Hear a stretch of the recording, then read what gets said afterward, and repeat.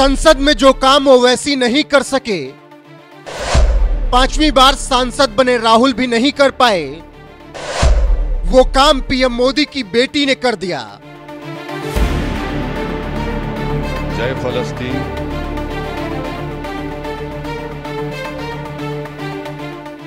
दुनिया के सबसे बड़े लोकतांत्रिक देश हिंदुस्तान में चुनाव हुआ। नतीजे आए। लगातार तीसरी बार मोदी सरकार भी सत्ता में आ गई। और नए नवेले सांसदों का शपथ ग्रहण भी हो गया। तो वहीं इसी दौरान संसद में शपथ लेने वाली एक सांसद ऐसी भी थी, जिनके लिए खुद पीएम मोदी चुनाव प्रचार करने के लिए बिहार गए थे। और जब चुनावी नतीजे आए तो इस महिला सांसद ने जहाँ इतिहास रच दिया तो वहीं शपथ ग्रहण के दिन कुछ ऐसा कर दिखाया, जो ओवैसी और राहुल गांधी जैसे सांसद भी नहीं कर पाए। मैं शाम्भवी जो लोकसभा की सदस्य निर्वाचित हुई हूँ, ईश्वर की शपथ लेती हूँ कि मैं विधि द्वारा स्थापित भारत के संविधान के प्रति सच्ची श्रद्धा और निष्ठा रखूँगी। दरअसल देश की संसद में जब शपथ ग्रहण हो रहा था इस दौरान तमाम नए सांसदों ने प्रोटेम स्पीकर के सामने सांसद पद की शपथ ली जिनमें असदुद्दीन ओवैसी राहुल गांधी जैसे कुछ सांसद थे जो कई बार जीत कर संसद पहुँच चुके हैं। लेकिन इसके बावजूद जब बात शपथ लेने की आई तो पर्चा पढ़े बिना सांसद पद की शपथ नहीं ले पाए।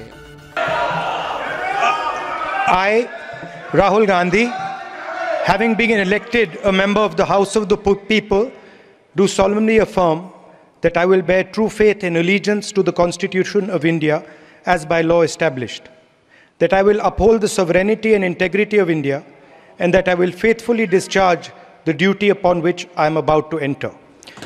Jai Hind, Jai Samvidhan. मैं असदुद्दीन अवैसी जिसे लोकसभा का रुकन मंतखब किया गया है अल्लाह के नाम से हल्फ उठाता हूँ कि मैं भारत की आइन पर, जो क़ानून के मुजब तय पाया है एतक़ाद रखूँगा, उसका वफ़ादार रहूँगा, मैं भारत के इकतदार आला और सालमियत को बरकरार रखूँगा और जिस अहदे को मैं संभालने वाला हूँ, इसके फ़रज़ और वफ़ादारी से अंजाम दूँगा। राहुल गांधी, असदुद्दीन ओवैसी जैसे कई पुराने सांसदों ने जहाँ पर्चा देखकर सांसद पद की शपथ ली तो वहीं बिहार की समस्तीपुर लोकसभा सीट से पहली बार चुनाव जीत कर आने वाली युवा नेता शामवी चौधरी ने बिना कोई पर्चा देखे सांसद पद की शपथ लेकर संसद ही नहीं, पूरे देश को चौंका दिया। मैं शाम्भवी जो लोकसभा की सदस्य निर्वाचित हुई हूँ, ईश्वर की शपथ लेती हूँ कि मैं विधि द्वारा स्थापित भारत के संविधान के प्रति सच्ची श्रद्धा और निष्ठा रखूँगी। मैं भारत की प्रभुता और अखंडता अक्षुण रखूँगी। तथा जिस पद को मैं ग्रहण करने वाली हूँ, उसके कर्तव्यों का श्रद्धापूर्वक निर्वहन करूँगी। समस्तीपुर से जीतकर देश की सबसे युवा महिला सांसद बनी शाम्भवी चौधरी पहली बार संसद पहुँची हैं, लेकिन इसके बावजूद उन्हें शपथ लेने के लिए किसी पर्चे की ज़रूरत नहीं पड़ी, क्योंकि शपथ के दौरान बोले जाने वाले शब्द शाम्भवी चौधरी ने याद कर लिए थे, और जब शपथ के लिए बुलाया गया तो पर्चे पर नज़र झुकाकर शपथ लेने की बजाय फुल कॉन्फिडेंस के साथ बिना देखे शपथ लेते हुए नज़र आई। एक बार फिर देखिए शाम्भवी चौधरी का शपथ ग्रहण। मैं शाम्भवी, जो लोकसभा की सदस्य निर्वाचित हुई हूँ, ईश्वर की शपथ लेती हूँ कि मैं विधि द्वारा स्थापित भारत के संविधान के प्रति सच्ची श्रद्धा और निष्ठा रखूँगी। मैं भारत की प्रभुता और अखंडता अक्षुण रखूँगी, तथा जिस पद को मैं ग्रहण करने वाली हूँ, उसके कर्तव्यों का श्रद्धापूर्वक निर्वहन करूँगी। चिराग पासवान की लोक जनशक्ति पार्टी के टिकट पर चुनाव लड़ने वाली शाम्भवी चौधरी कांग्रेस उम्मीदवार सन्नी हजारी को एक लाख सत्तासी हज़ार से भी ज़्यादा वोटों से हराकर संसद पहुँची हैं, जिनके लिए खुद पीएम मोदी चुनाव प्रचार करने गए थे और उन्हें अपनी बेटी बताकर जनता से वोट मांगा था। और समस्तीपुर से एलजेपी की हमारी बेटी श्रीमती शाम्भवी चौधरी जी पूरे हिंदुस्तान की सबसे छोटी उम्र की बेटी चुनाव लड़ रही है। आप सब आशीर्वाद दीजिए। ये हमारी बेटी तो जीतनी ही चाहिए। चुनाव जीतने के बाद पर्चा देखे बिना शपथ लेने वाली युवा सांसद शाम्भवी चौधरी के परिवार के बारे में बता दें कि उनके पिता अशोक चौधरी बिहार की नीतीश सरकार में कैबिनेट मंत्री हैं, जो हाल ही में कांग्रेस छोड़कर जेडीयू में शामिल हुए हैं। शाम्भवी के दादा महावीर चौधरी भी कांग्रेस के वरिष्ठ नेता थे। यानी वो अपने परिवार की तीसरी पीढ़ी के नेता हैं। दिल्ली स्कूल ऑफ़ इकोनॉमिक्स से आर्ट से एमए करने वाली शाम्भवी चौधरी 25 साल की हैं। उन्होंने पूर्व आईपीएस अफसर आचार्य किशोर कुणाल के बेटे से लव मैरिज की है। ऐसे तेज तर्रार युवा सांसद के बारे में आपका क्या कहना है, अपनी राय कमेंट कर हमें ज़रूर बताएँ। साथ ही शाम्भवी चौधरी के नेता चिराग पासवान ने संसद में क्या कुछ कहा है, आइए आपको सुनाते हैं। Shri Chirag Paswan Thank you so much, Speaker sir.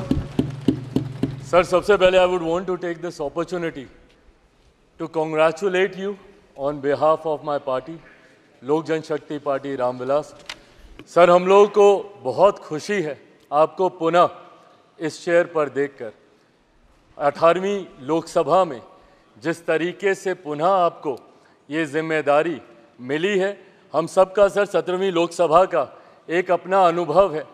उस वक्त जिस तरीके से आपने महिलाओं को और युवाओं को ऐसे सांसद जो पहली बार चुनकर आए, सर, उनको आपने प्रोत्साहित करने का काम किया, सामने से आपने उनको मौका देने का काम किया। सर, इस बार मेरी पार्टी में भी महिलाओं और युवाओं की तादाद है।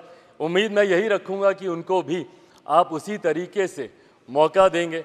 मेरे नेता, मेरे पिता आदरणीय रामविलास पासवान जी के विचारों को लेकर हमारी पार्टी आगे बढ़ने का काम कर रही है। आपने पिछले पाँच साल में सर इन तमाम विचारों को इस सदन में रखने का मौका दिया और इस बात को सर कहने में मुझे कतई कोई संकोच नहीं है कि आपके द्वारा जो फैसले पिछले पाँच सालों में लिए गए, उसने संविधान की मर्यादा को बढ़ाने का काम किया और लोकतंत्र को और मजबूती देने का काम किया। सर, हम लोग चुनाव बाहर लड़कर आ गए हैं। मैं तमाम साथियों से यही आग्रह करूँगा कि जहाँ चुनाव लड़ना था, हम लोग लड़ चुके हैं।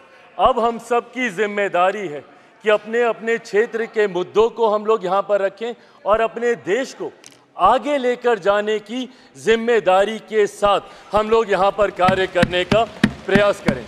सर, आज सिर्फ़ आपको बधाई देने के उद्देश्य से हम लोग खड़े हुए हैं, पर हाँ कई बार जब विपक्ष के द्वारा कई बातें कही जाती हैं, मैं इतना भी मैं ज़रूर आग्रह करूँगा कि जब एक उंगली आप किसी की तरफ़ उठाते हैं तो बाकी उंगलियाँ आपकी तरफ़ उठती हैं।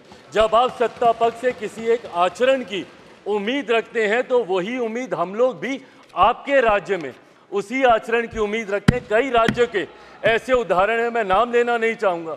पर जब आप स्पीकर के पद की बात करते हैं, आप डेप्यूटी स्पीकर के पद की बात करते हैं तो कई राज्य ऐसे हैं जहाँ पे स्पीकर का पद और डेप्यूटी स्पीकर का पद भी आप ही के पास है, जहाँ पर सरकार एनडीए का कोई घटक दल नहीं चला रहा, विपक्ष के दल चलाने का काम कर रहे हैं। ऐसे में सर, इस उम्मीद के साथ कि अगले पाँच साल आपका नेतृत्व, आपका मार्गदर्शन उतनी ही खूबसूरती से हम लोग को मिलता रहेगा, जैसे पिछले पाँच सालों में मिला। मैं एक बार फिर से अपनी पार्टी की तरफ़ से, लोक जनशक्ति पार्टी रामविलास की तरफ़ से आपका पुनः स्वागत करता हूँ। पिछले पाँच साल के लिए आपको बधाई देता हूँ और अगले पाँच साल के लिए आपको शुभकामनाएँ देता हूँ। धन्यवाद, सर।